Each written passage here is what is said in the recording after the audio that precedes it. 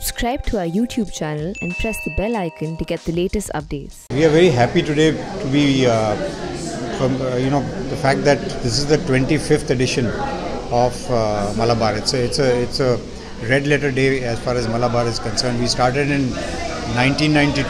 It's going to be nearly 30 years uh, that we've been doing Malabar, and this is the 25th edition.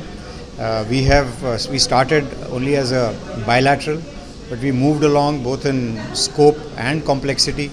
And today's uh, Malabar has the aircraft carrier, uh, destroyers. We have four different navies. We've got a submarine. We've got maritime reconnaissance aircraft, and uh, uh, we have over a period of time built uh, interoperability, uh, trust, understanding, and that is what the navies are all about. So that when we have to meet a common challenge, whether it be a tsunami or anything, we can easily plug and play and operate together.